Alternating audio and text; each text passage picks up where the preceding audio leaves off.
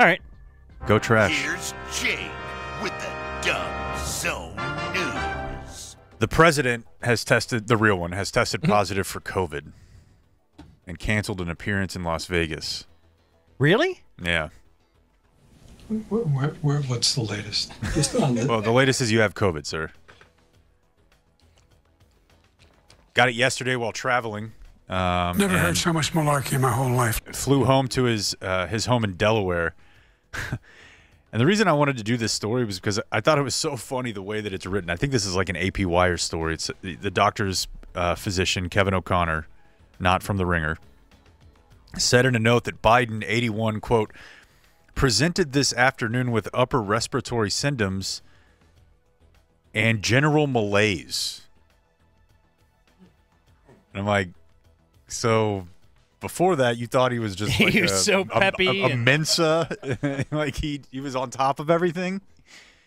How bad does it have to be for them to be like, boy, Biden seems fucked up? Yeah. He's. is he in a funk here? Yeah. And even like the the the cough and the runny nose, which he had during the debate, they're like, yeah, he seems a little off. It would be So COVID's still out there, huh? dude. Not only is it still out there, kids are getting it in droves right now. Really? Yeah, That just means you're going to get it and you're going to give it to me. third time's a charm. We've been through this so many times. Yeah, I don't even know. your last go get another vax, I do. I definitely do. I've had three, but I'm way past due, at least by three three or four months.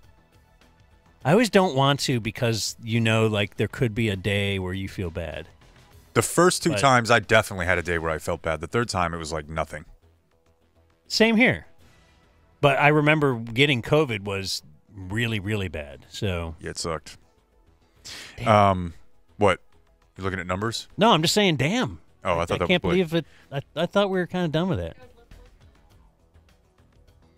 There's also a note in this story where it says Biden quote gingerly boarded Air Force One and told reporters traveling with him, "I feel good," which again presents the question: do they What is think that previously he was like charging up like he was running stairs at a stadium? Two at a time. He's doing the Rocky run up. yeah, exactly. You're the Like, sucker. You're yeah, I'm, the I'm, loser. I'm fairly certain he was gingerly boarding Air Force One because he's a hundred and he's dying. So Yes. So now he has malaise or general malaise, and uh, he walks gingerly. he's gingerly. walking a little slow. Has he had COVID the whole time? See, that would have been a good explanation the day after. They should have just come up with that. The Well- day after the debate, like, oh, we didn't know he had COVID. Like he felt a little down, but now this morning it's tested positive, and then that would be a good cover for, oh, that's why. Because now it was just like, well, he was tired. He had a cold. Yeah, like no. a cold shouldn't do that. No, We just need to have this debate at 1.30 in the afternoon. That's all. before the Luann Platter special hits. Well, that's that's when For he started dinner? changing his schedule. Yeah. Gum All, down. all of these things are Come too late at night. So we have a uh, bank robbery situation here in DFW, and this is the image that I was going to put up on the screen, video man. Um, This is Hordash. Back out of Hordash. so this is a man who uh, the first robbery occurred on July 3rd in Garland. Uh, there have been a couple since then. One on uh, July 12th. That was at uh, Forest Lane in Dallas. And he wears like a really dapper outfit. Now, I think unlike Biden, he's probably not going to get COVID because he has an N95 on. But he's also dressed like uh Pan- or like the guy from Roger Rabbit. Dick yeah, the Dick Tracy type look. Smart guy, though. Look at that. So he's got the mask for sure. Mm-hmm. Gloves, rubber gloves. what a great bit the the COVID has brought to normalize that mask a little bit. Because if you see someone wearing a mask, you're not that alarmed anymore. Right? You might just punch him and call him a dirty lib, but Get that face diaper off. yeah, but it, it isn't like if they were if this was ten years ago, you'd be like, "There's clearly something up with this guy." And yeah, he's got the surgical gloves on. Yeah. Very smart, right?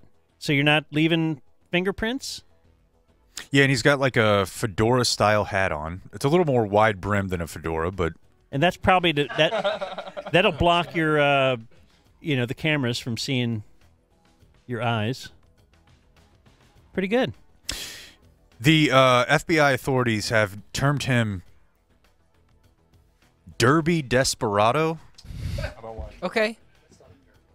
which it's sort of like what we were talking about the other day with Operation Varsity Blues. And why do law enforcement agencies like have to come up with something like that? Well, it feels like Like, why do they have to sit in a room and workshop like an alliteration name for every robber or every criminal and say, I love Derby Desperado? Do you guys love that one? See, I was thinking that that would be a place for like you or me. I would be able to work on that if I worked for the FBI. What else are they going to have me do?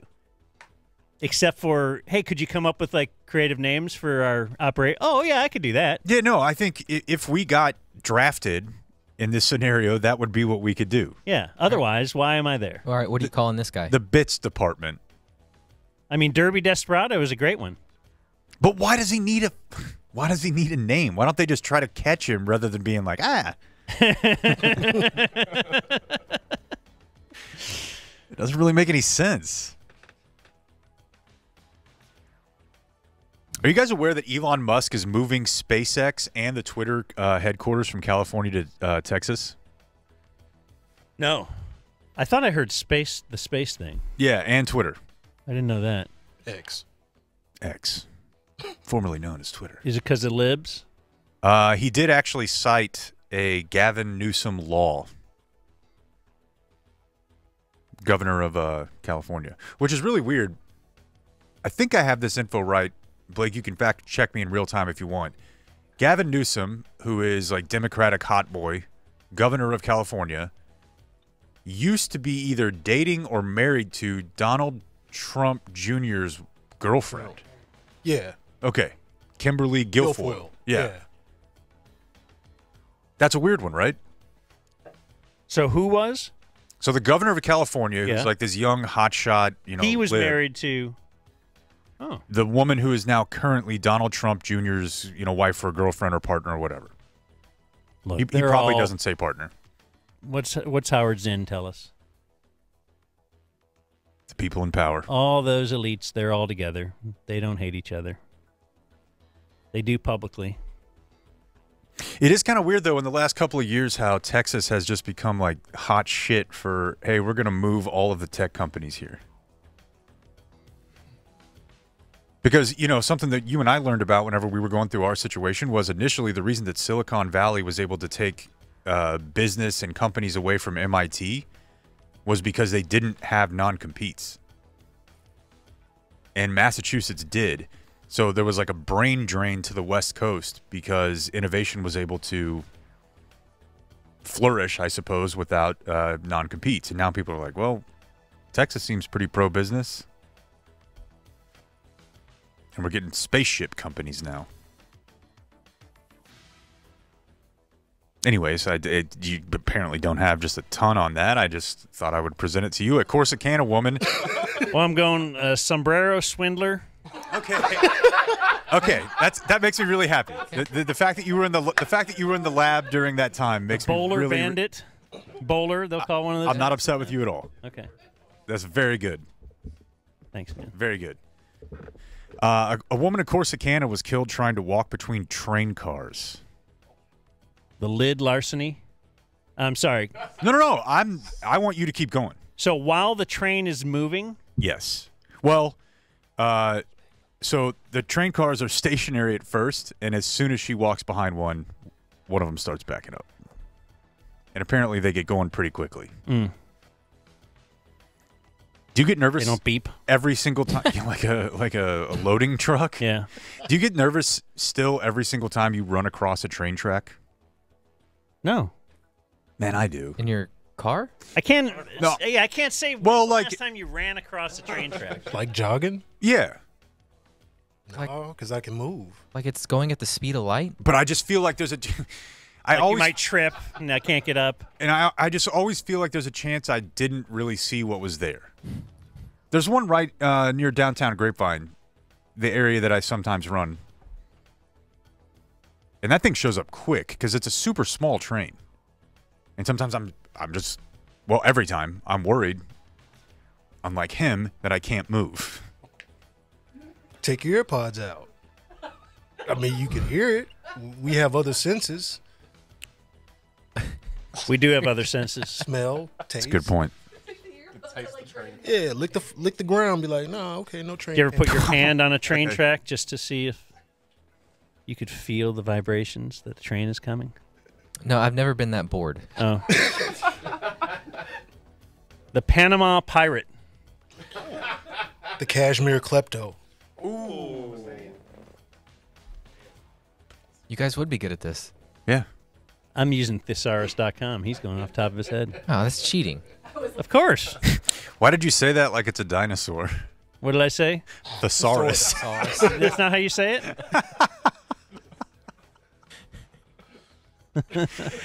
Thesaurus Rex. There's your news.